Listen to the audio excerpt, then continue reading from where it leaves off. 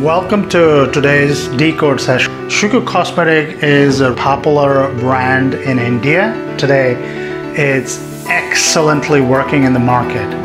And what is the big idea of the brand?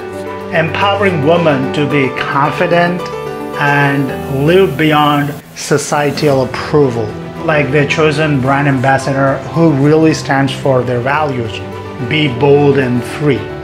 In the packaging, you can clearly see that there's a kind of visual language which is kind of created by a unique low poly illustration style.